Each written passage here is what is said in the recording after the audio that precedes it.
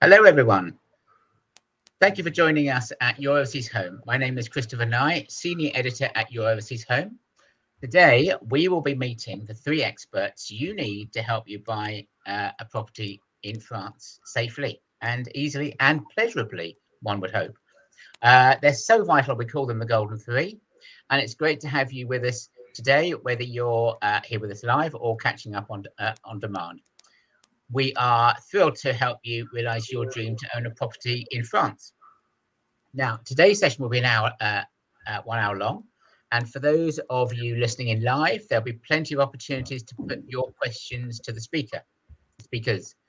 If you wish to ask anything, just type your query into the questions tab on the side, uh, on the right hand side of your screen. And of course, if you need a reminder of anything discussed today, or you want to share this with family or friends, a replay is available on the Your Overseas Home website to watch at your leisure. I am delighted to be joined today by our trusted Golden Three experts. Now, we're going to do it in, in the order that we kind of think that you should um, do the property process. So the first thing is the who is from uh, Smart Currency Exchange, who's going to be giving you a bit of background on how to do the the, the money side of it safely, and um, quite exciting times in the currency markets uh, at the moment. So we may touch on where the pound is going at the moment. Uh, Paul's been working within foreign exchange for eight years, and um, and he's based in London. Uh, after that, we will be talking to Anthony Bryan from uh, Beaux Villages Immobilier, and he will tell us more about uh, what he does and how long how long he's been there. And lastly, we'll be hearing from uh, uh, Leah Maynard from Buckles Law, who is, as the name suggests, going to tell you about the legal process. So uh, enough of me. Uh, let me start off by uh, welcoming Paul. And if you would like to just give us an introduction to Smart and how they can uh, support our, our viewers today. Great. Yeah, thanks, Chris. Uh, and good afternoon, everyone. Uh, thanks very much for attending. Um, so, as Chris said, I'm here representing Smart Currency, uh, and we can play a, a pivotal role uh, in the buying journey for you. Um, and we can help you right from the early stages. So, um, often currency will be the one of the last things you may actually think about getting around to doing because you'll have to find the property first and, and agree contracts and things. But we can be uh, a real asset to you from the early stages with your help with your budgeting um, so you'll have the you'll have the amount of money that's available to you in your bank account, have the amount of money that you're looking to spend.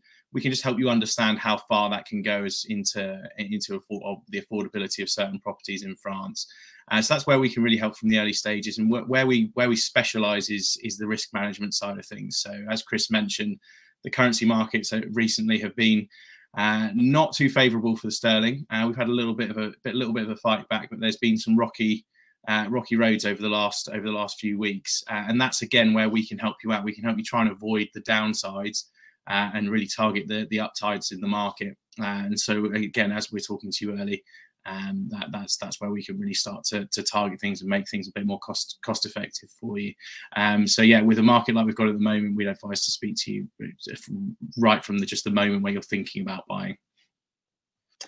Okay, I, I, I just noticed that that the pound to euro has just shot up by about one and a half percent today. Uh, now I understand there's something called a forward contract, so I can lock that in. Can you can you tell me about that?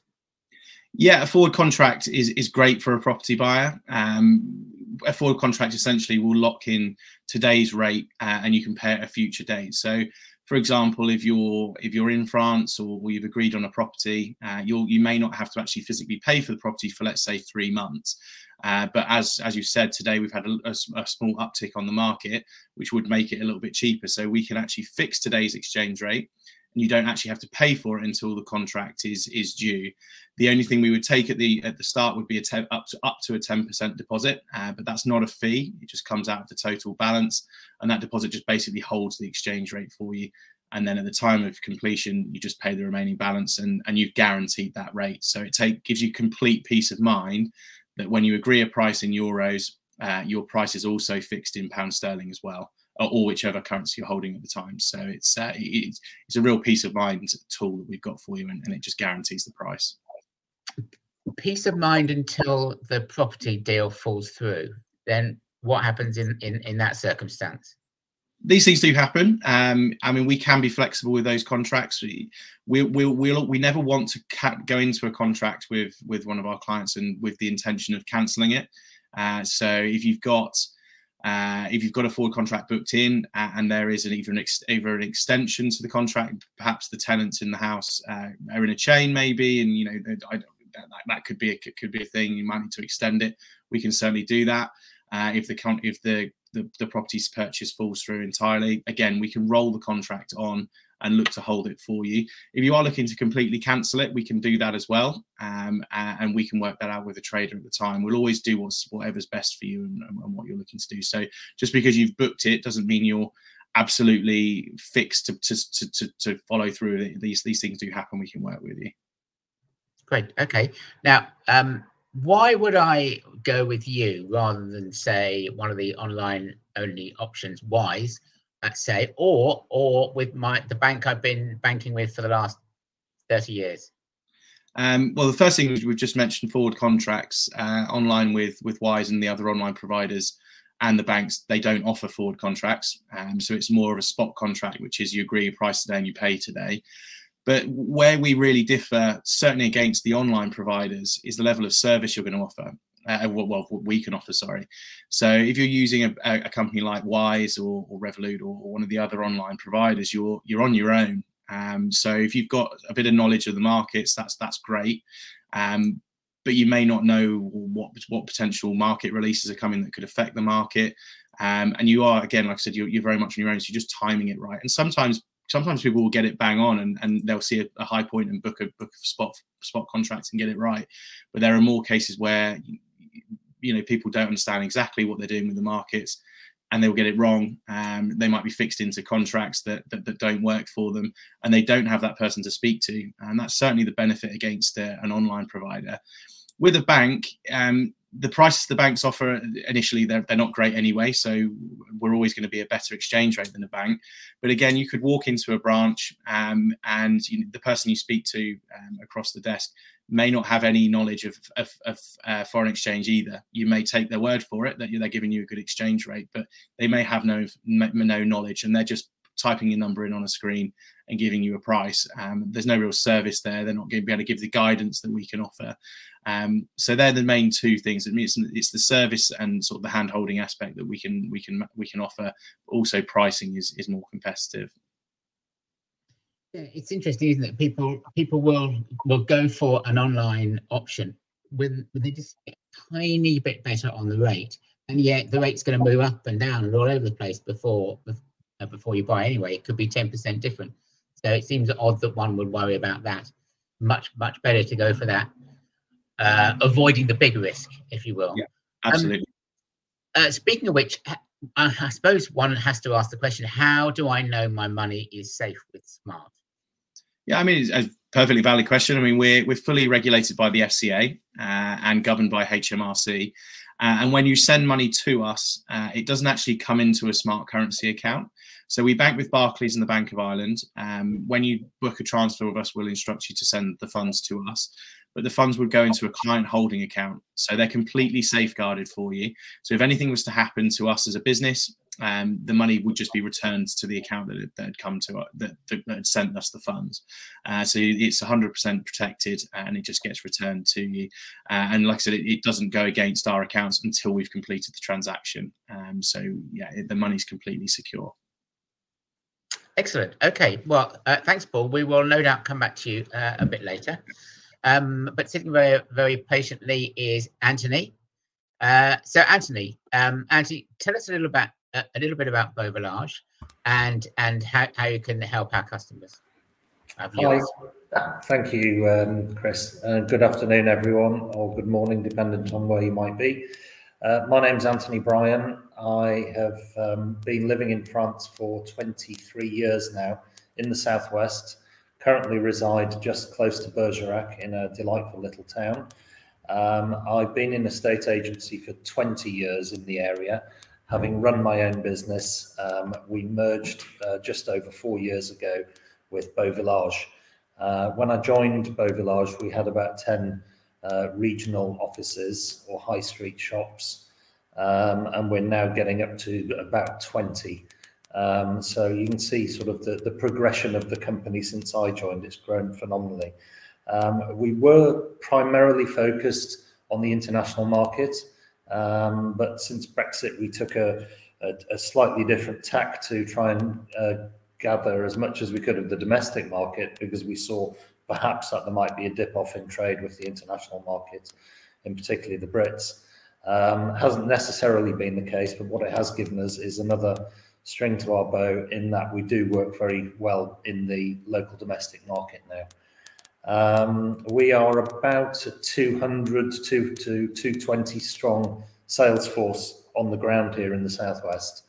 Um, again, it's a growing team, growing daily as people join training and become uh, compliant to be estate agents here.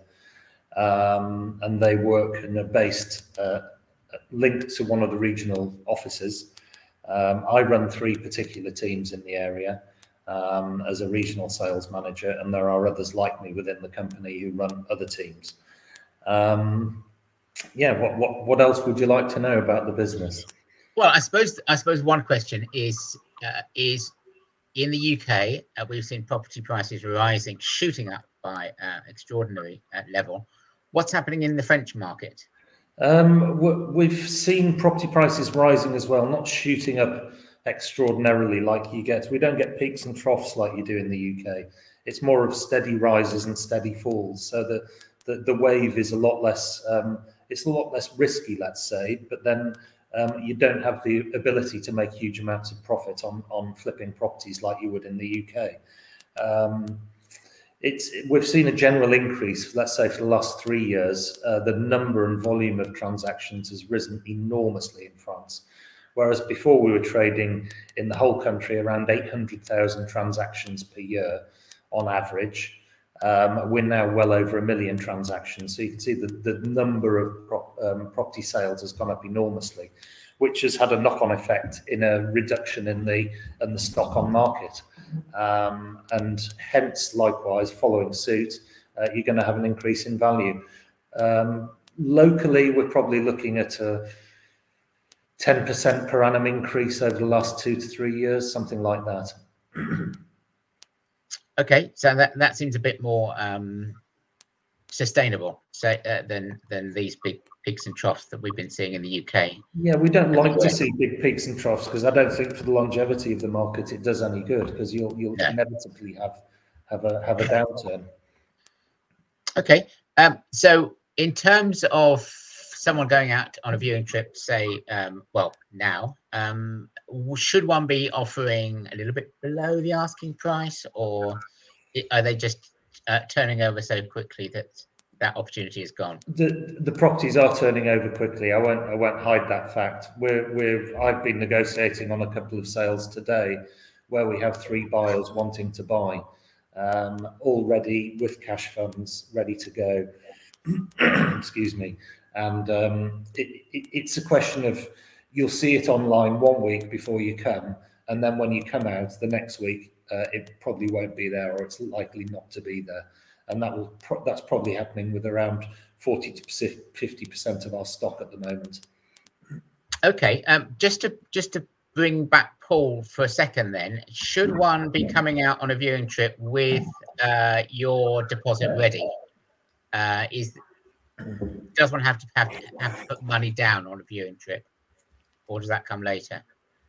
But um, uh, I'll ask I'll ask Anthony first, and then and then Paul can tell us how he can help it, it, it's certainly a good idea to know exactly how much money you're going to have to spend in euros for sure, which is why it's important to to have that discussion with the uh, the currency broker before you come. Um, and fix a rate if you can, so, so you know what you're going to be able to afford while you're viewing property. Um, in, in terms of having the deposits in your bank or in the currency account, um, so it's ready to go. Absolutely a good idea, but you need to know the, that it's an amount that you'll be sending and it's 10% of your purchase price, and you might not know the exact figure. So have it ready in your account to transfer straight away, um, but um, it doesn't get transferred into the notary's account until a bit further down the line when you've signed the first contracts. Okay. Um, uh, shortly, I will bring uh, Lee in to tell us about those uh, that first viewing trip um, thing you have to sign. That, that it's when it all feels terribly real. So, Paul, you can you can help with those uh, with, with those deposits, I, uh, I assume. Yeah, yeah, absolutely. Um, so you, there's if you've got the money, as Anthony said, if you've got the money available in your your account ready to go, it can happen very quickly. Um, you can give us a quick call. We can book a spot contract, send the money straight to us, and we can have it into France the same or next day. So it's very quick.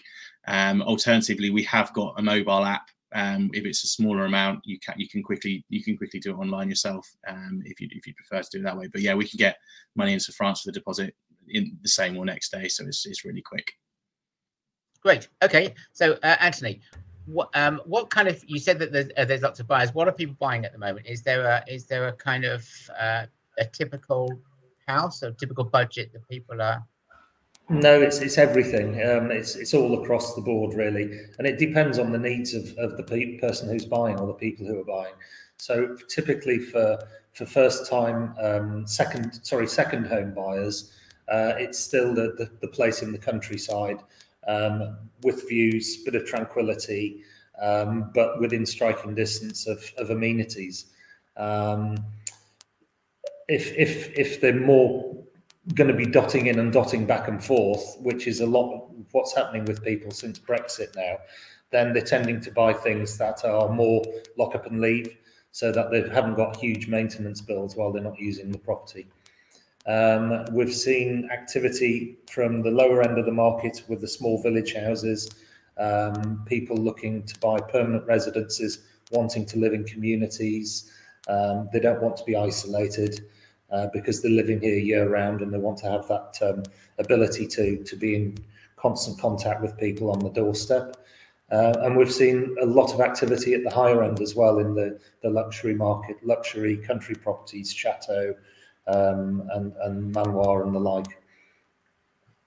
Okay, great. Um, now you tell us uh, you you you offer a, a very comprehensive service for, uh, for, for buyers. I believe it's bit, you know it's a bit more than just the salesy thing that we tend to get with British estate agents.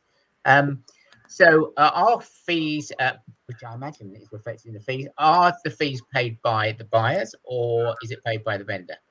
Uh, generally, the way we work is paid by the vendor. That's not to say we're not working for the buyer. Uh, we're working for both parties. We're, we're, we're the third party involved trying to, to transact the deal on your behalf. So we'll we'll we'll we'll get the best deal for you that we possibly can, um, because it's in our interest to, to do so. But generally, the way we work it, it's we're working with a vendor paying our fee. Okay, thank you. Um, now, moving on to uh, when you um, actually make make an offer, what's the, what's the process of making an offer? So I found the house I, I like. What happens next? Okay, so you can do it verbally, um, which is generally how it plays out, and you'll speak to your agent. Um, he or she will put the offer forward to the vendor, um, and it will generally be done verbally to start with.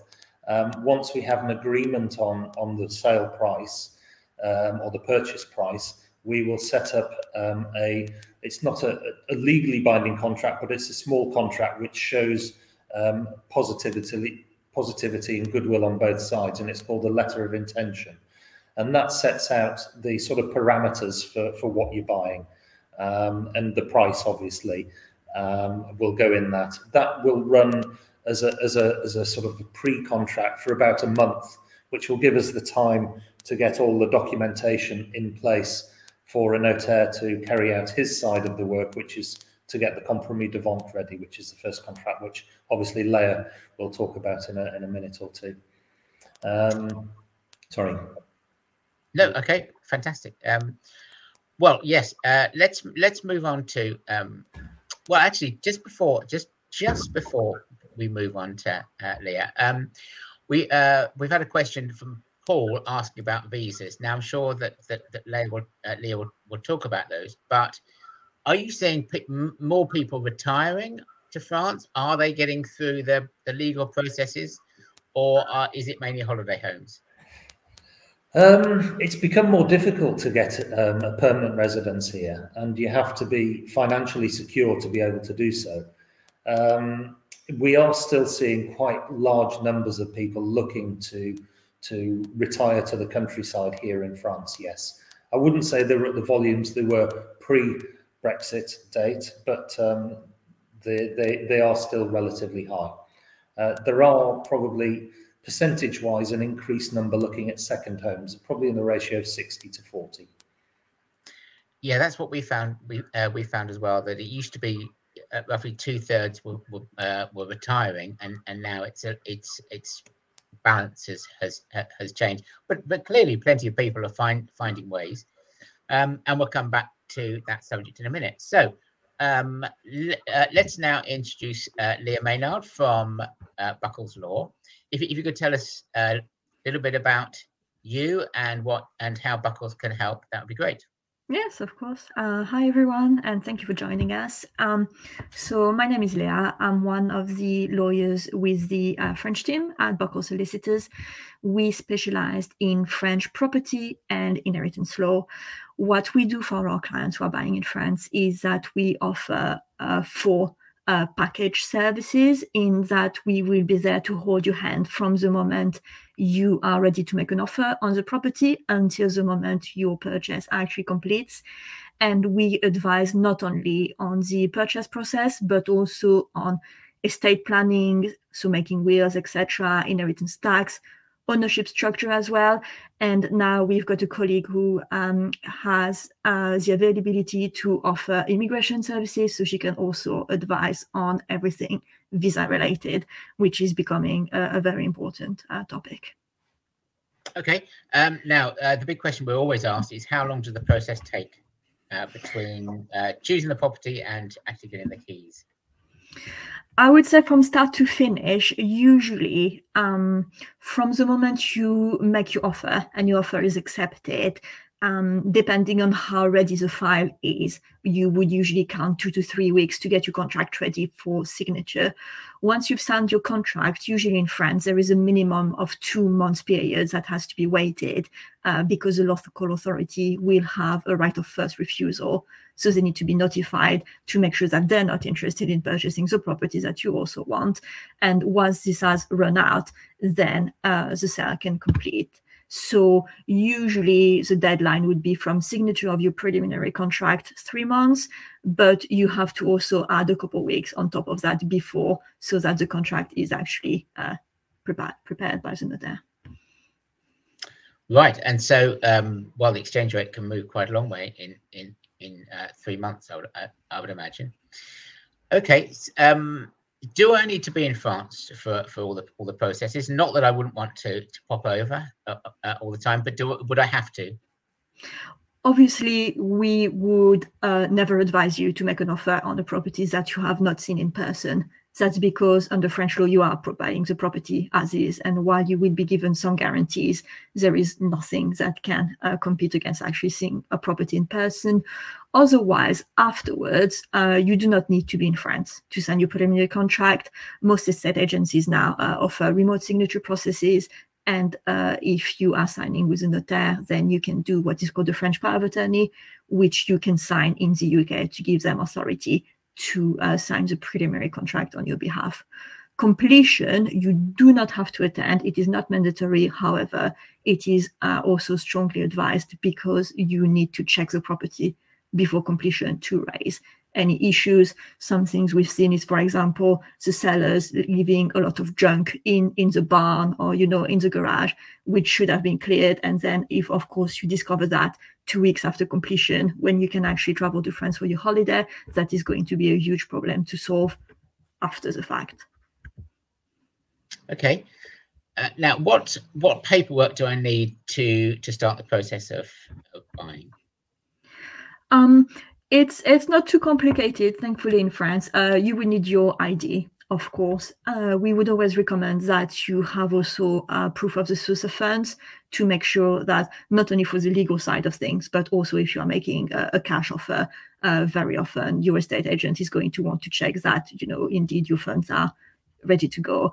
Um, otherwise, uh, very often the notary is going to want at some point to see your birth certificates and marriage certificates, but uh, this is fine to be provided only at the time of completion. So you do get a couple of months to get everything ready.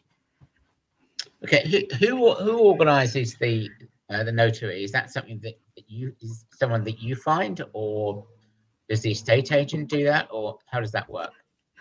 Um, it it depends a lot. Um, we for a purchase, we would always recommend to work with a, a who is local uh, to the property because they, while they don't you know go out and see the property themselves they will have some knowledge of uh, how things work locally the position of the local authority especially if you're having some tricky things like a right of access or you want your purchase to be subject to planning permission, a local notaire is going to have more knowledge of the area than any notaire in France.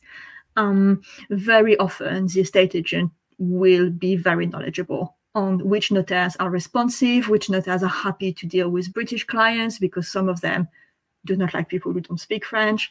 And uh, so notaires are um, state regulated officials and they will always take a neutral role. So buyers should never be worried about using a notaire that has been recommended to them or using the same notaire as a seller.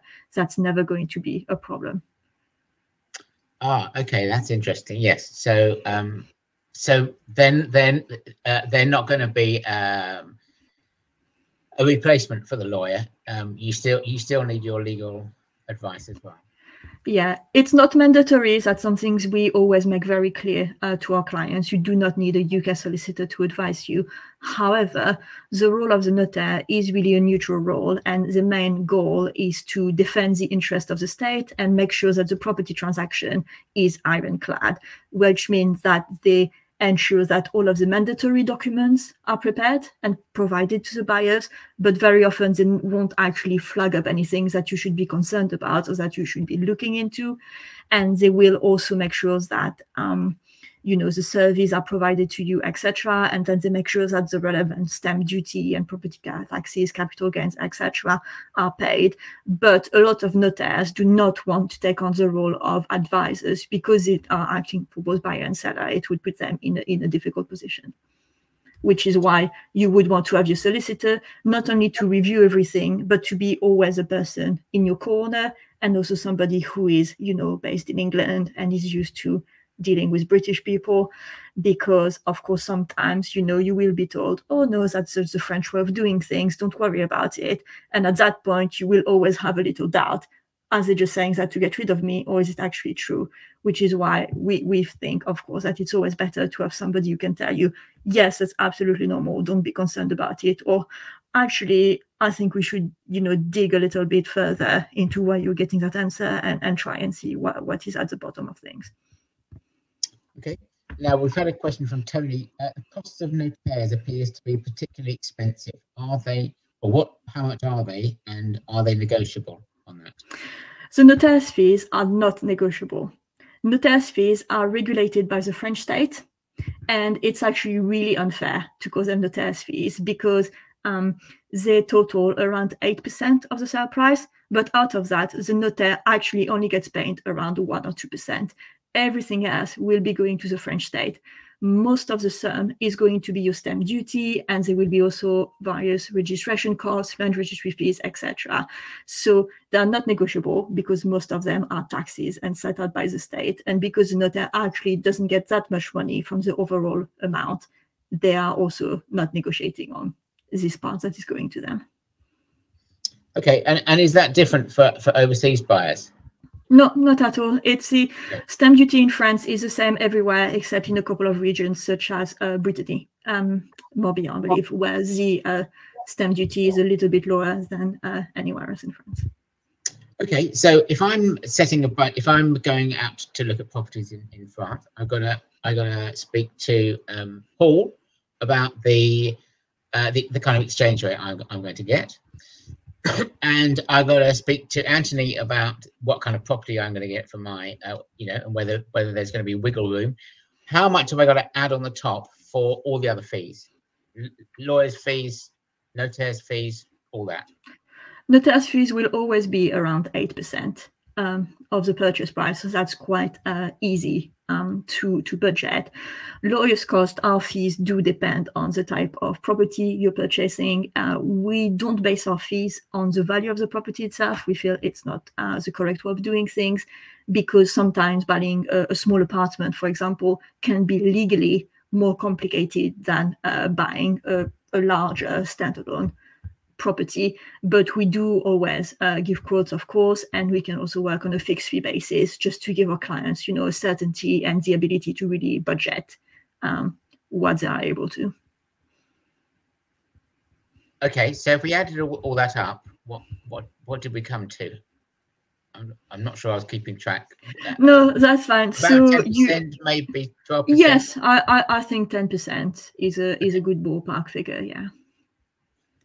Great. Okay. Um, so I, uh, I'm gonna I'm gonna turn to some of the questions we've been having asked in the chat box. Uh, do ask questions, people. Um, is it uh, from Helen? Is it worth taking up residency in France to get around the 90 days in 180 rule? Um, while I can't advise from a, a pure immigration perspective, one thing that you need to be aware of is that if you take up residency in France, you will be considered to be tax domiciled in France. And this is going to have a, an amount of ramifications that you must absolutely look into before you make decision. It means your worldwide income will be taxed under French income tax. Um, anything you sell anywhere in the world would be subject to French capital gains tax, and also when you know pass away, uh, French inheritance tax will be levied against your worldwide estate. So when you decide what type of visa to go for, you can't only think about uh, it's just going to allow me to stay longer in France. You have to really take a, a, very global view of it, and not only straight away how long I can li live in France, but in in the grand scheme of things, in the long run, how is it actually going to impact uh, your life overall? Okay, great. Um, now, let me uh, just go back to um, sort of uh, uh, ask a few more general questions. Um, uh, when we're talking about tax, Elliot, when we buy a property uh, in France, what what are the initial costs that we're going to have to ha have to start paying? For example, is there equivalent of council tax? That might be a question for Anthony, maybe, maybe or, or perhaps Leah as well.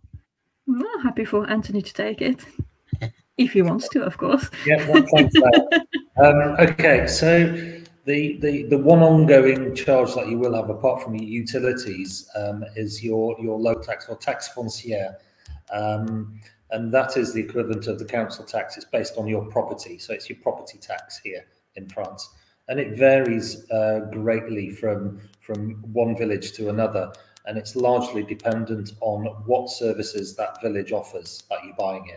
So if you've got a school, you've got a supermarket, you've got a cinema, you've got um, mains drainage, you've got um, a college, you've got lycées, your costs, you've got public transport, your costs are going to be greater than if you're buying in a small village in the countryside um, that um, that doesn't offer these services. Um, typically, you're looking at around 2,000 euros for a, for a reasonable sized country home, um, 1,800, 2,000 euros for a large country home.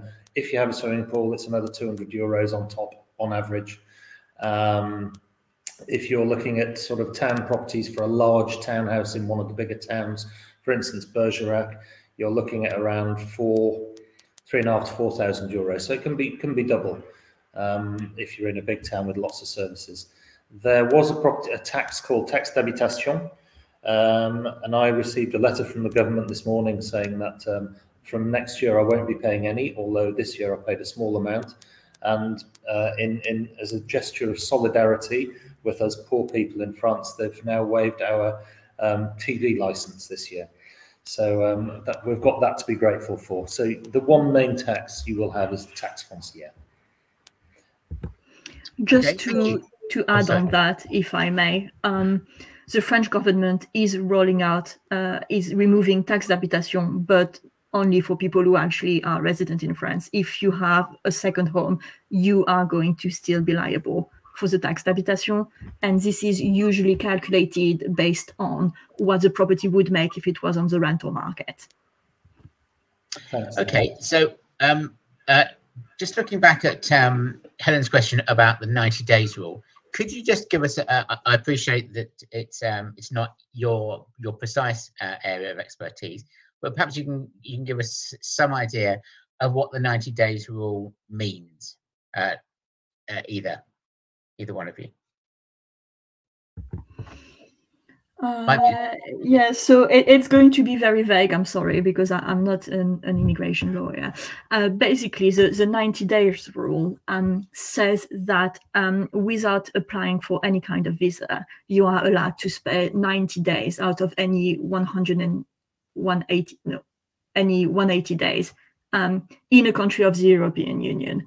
So that's something to keep in mind. Is that if you uh, you know, you've got your house in France, you go for holidays, but you also like to go two weeks in Spain, etc. This is going to be counting towards you, your total amount of days.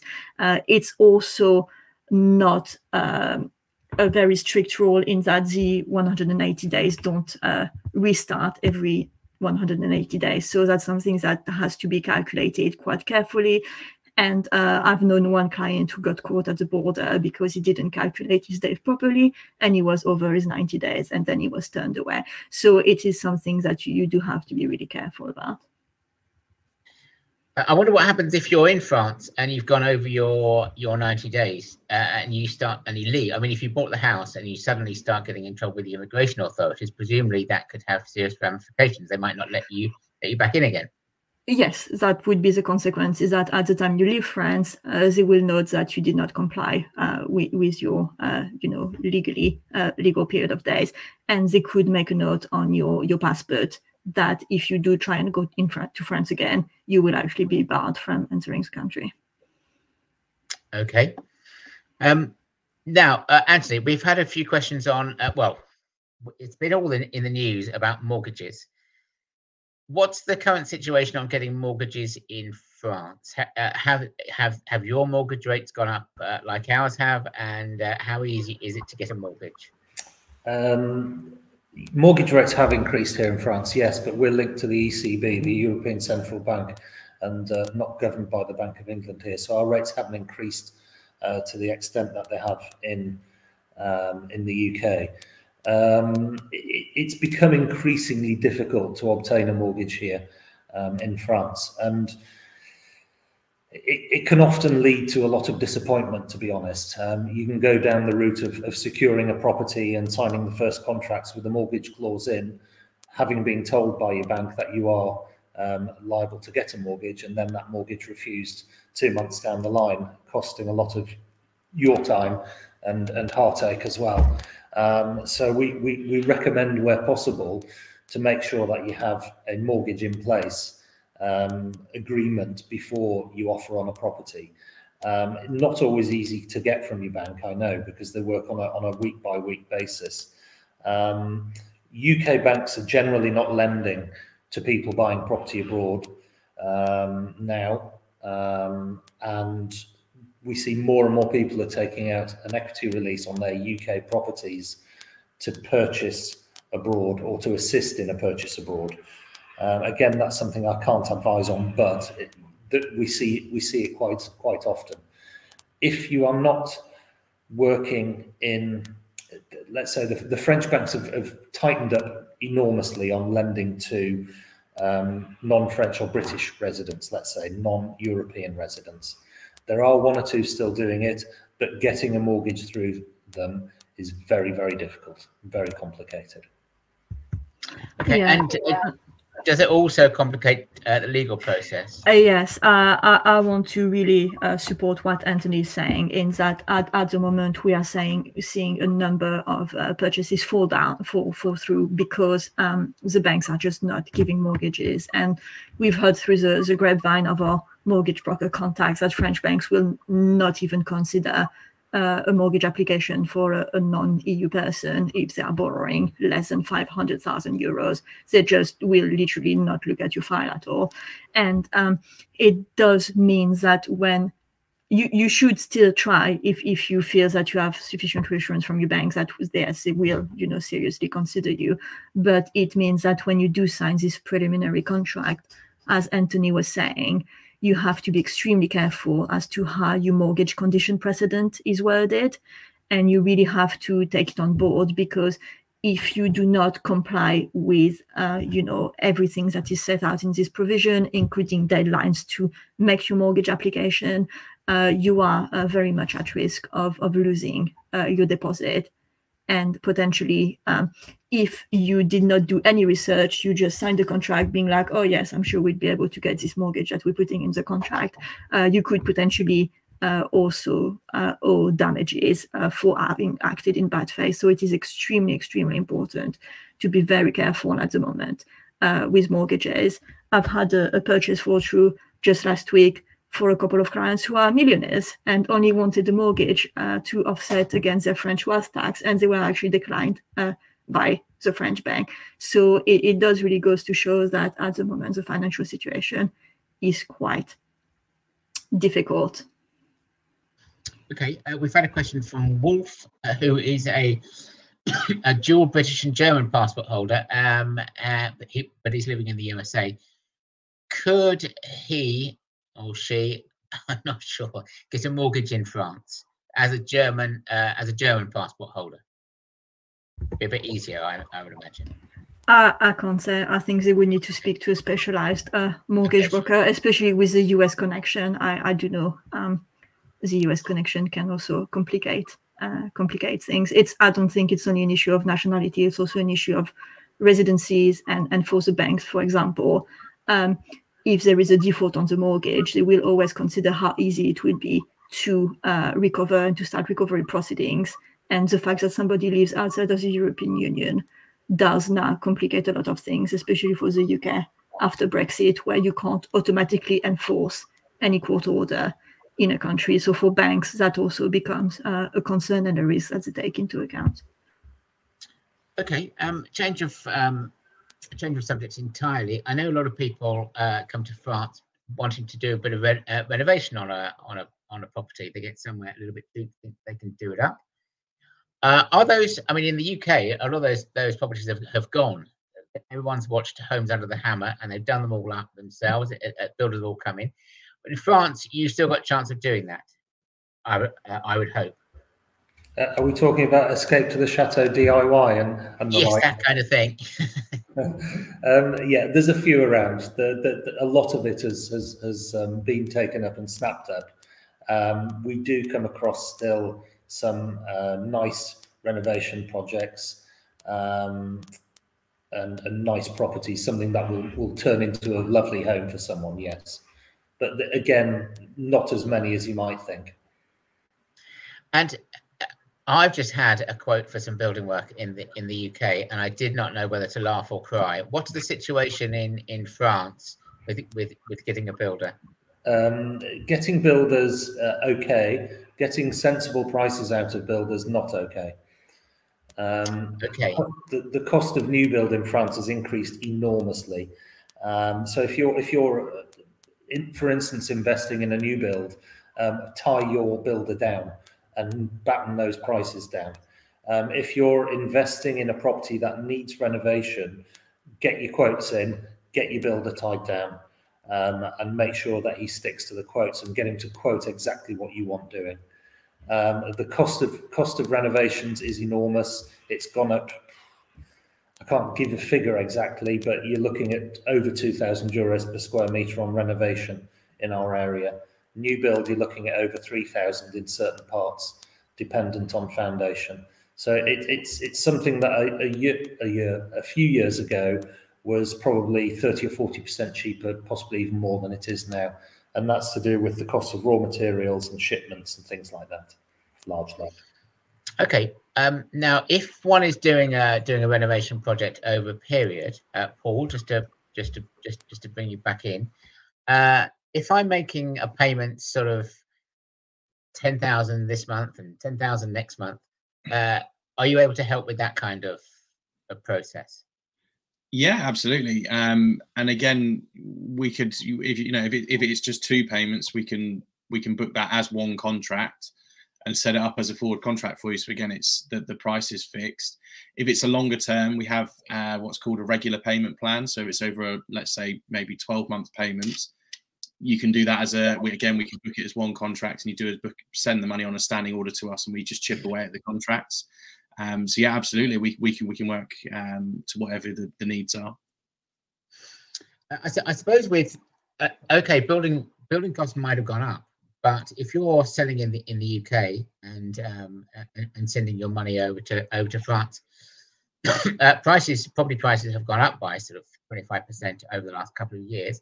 So uh, in effect, uh, you're still kind of quids in in, uh, in a way. It's, it's, certainly not a reason not to fulfill your uh, uh, your plans. There's you know, there's there's savings elsewhere. Um, thinking about planning permission, uh, I know that it, it's bad enough here, and we all are slightly terrified of applying for for, for French planning permission. Um, do you find it's a big problem with property buyers, or or can they usually get uh, get through their plans for, for whatever they want to do with their property, Anthony? Well, you there? Do you want me to go first, Leah? Uh, yes, happy to. Um, I find that France in general is more regulated than the UK in terms of what you, you can and can't do. Um, it, it's not to say that it's a bad thing. It's it makes uh, France looks uh, as lovely as it currently does, and it does protect you know the look and feel of villages, and it ensures that if you've got you know a beautiful view, you somehow have some guarantees that a nasty apartment building is not going to be uh, built next door. But uh, if you do have some, you know, really serious plan about what you plan on doing with your properties, the main one is, I think, uh, a swimming pool. You can uh, make your your purchase subject to obtaining planning permission, which is something that we would recommend doing, even though it does, uh, you know, push the overall timescale quite a fair amount because the process is involved and you will have very often beautiful places like Bergerac. Uh, I've dealt with a, a, couple of ones where, um, because you are near a protected building or a historic area, you're going to have not only your local authorities, the mairie, dealing with this, but then the planning application has to be outsourced to the Architecte des Bâtiments de France, who is basically like a supervisory body of all architectural projects which could affect uh, historic protected monuments. So it can take uh, quite a while. But um, usually, if, if you take proper advice and you do really engage in the dialogue with your mairie, uh, I, I have not seen anybody get their permission turned down as, as long as it was, you know, something reasonable and not build a, a massive uh, tower on a, a very uh, low property where there is a beautiful view and, and things like that. What's your experience been, uh, Anthony, with those? Yeah, I mean, I've, I've had very few turned down. Most most are accepted. Um, one thing I would say is, um, you know, your agent is going to be able to put you in contact with local uh, architects or planners um, who who having a meeting with them while you're viewing uh, can give you advice on what will and won't be accepted um, in a particular area or village or town. Um, and and that sort of that local knowledge of that you'll get through your agent means that you're going to you're working with him and he's working with you and helping you. Um, and I, I've just done one whereby we had a, a, a, property purchase that's going through and a wall fell down. Um, and, and it's still going through. He had the right to withdraw, but he still wants to go ahead because it's this is a, a wreck, one of the rare finds um, and and it's in a beautiful position. And he's still enthusiastic about going through. And I put him in touch with the local planner. He's got an architect in the UK doing the drawings because he's a developer, and the drawings are being sent and modified here in France to to to cater it and tailor it for the local area and what will and won't be accepted. Um, we we are in kind of viewing trip season. Uh, this is um, if someone is planning to come out to to France and see see properties, uh, can you go? Can you offer any tips on on what they should be doing? How long they should, they should be planning a trip that trip for? How many properties they should they should plan to see on each day, uh, and and anything else um, sort of uh, viewing trip tip wise, Anthony. Okay, if if if you if you secure in the knowledge of you know where to buy, And I, I cannot just say a, a, location like the southwest, um, but but hone it down to to a tighter area. For instance, around one or two particular towns or villages that you like, that you know, um, and that might fit the bill for you in terms of living or for your holiday home purposes. Um, focus in and around those areas. So you're not traveling large distances. It's a massive country, and the southwest is bigger than Wales. Um, so travel times can be can be quite quite sort of draining, let's say. Um, if you're focusing in a tight area, you can quite easily view five properties in a day, unless they're, uh, you know, 20 bedroom chateau. Um, if your agent plans it right um, and has the stock um, to show you, then five per day over a three or four day period. Some people spend a week and do less, um, but generally, a three or four days is enough to one give you a feel for the area, whether that's right for you two, see the number of properties, and, and, and um, three, have a little bit of spare time so you can spend time in the area getting to know it.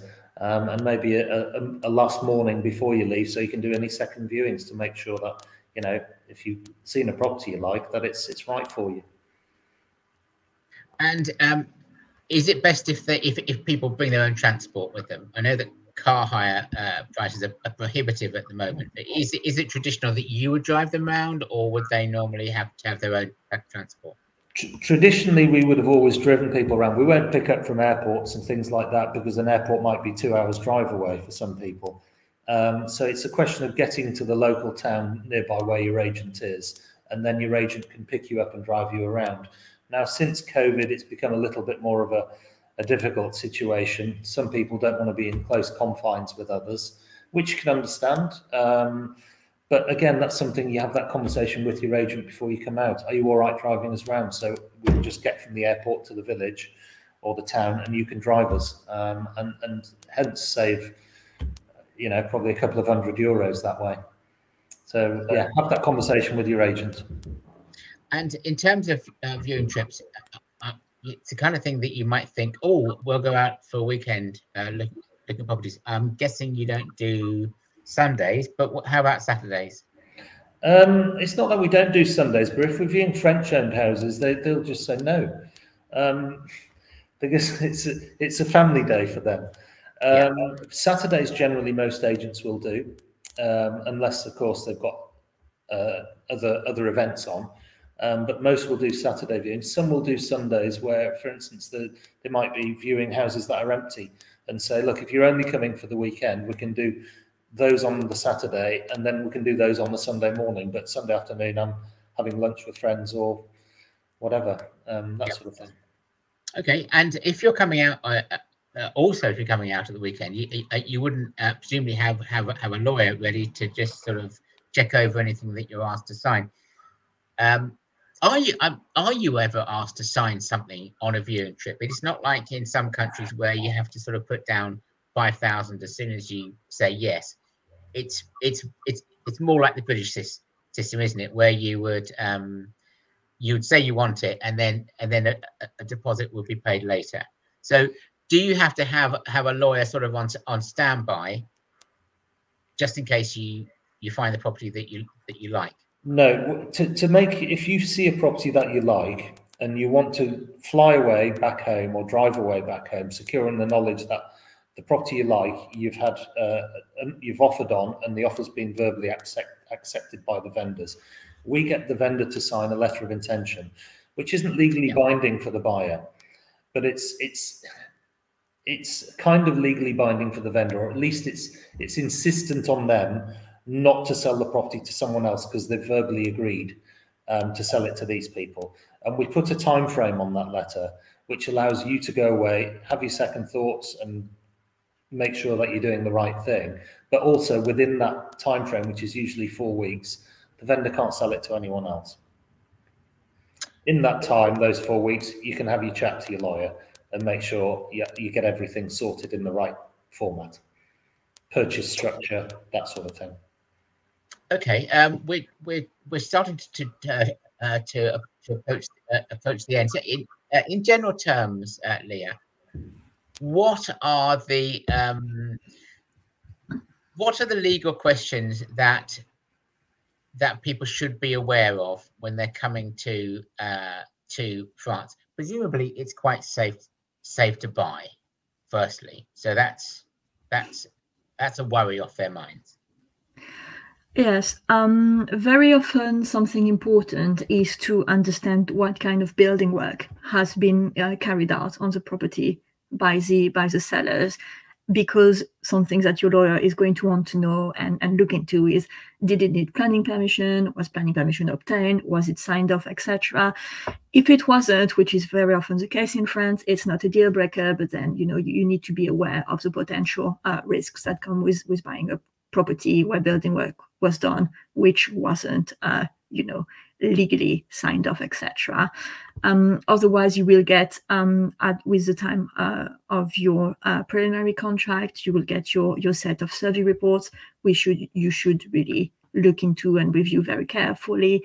Um, very often, um, we find that um, while, as Anthony mentioned, you know, the, the purchase of a letter of intent is not actually binding, it does set the tone and the expectations.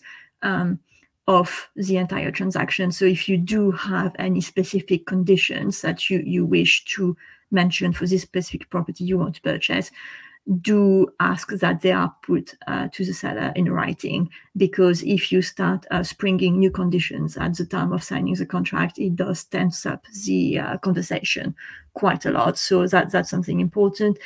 And, and really, I can't highlight how much uh, making sure your finances are sorted before you you do start you know committing yourself because um, a lot of things that we find at the moment because of the mortgage being so difficult to obtain is that um, a lot of british people will travel to france and says that they will fund the purchase from the sale of the uk property. I can tell you from experience that in 90% of the cases this is just simply not going to work. It's going to cause a lot of stress for everybody. So that's really something um, to to keep in mind is that if that's what you're planning to do, it's going to be very difficult to make it happen. So do, you know, of course, us as lawyers, we really start, you know, getting working, getting on with the file once you have found a property. But if you have some questions about your finances and how you're going to be protected once you found this property, do engage with a lawyer quite early in the process as well to make sure that once you are in France and you have found this property, everything is going to go very smoothly because you have ironed out all of those questions before you actually leave for France. Um, and the advantage of using company uh, like Smart, who's a, who's a property specialist, is that you can uh, Smart. You have a personal trader. That's correct, isn't it? Rather than just some sort of app, and and the personal trader can just make sure that all their all the processes are working safely.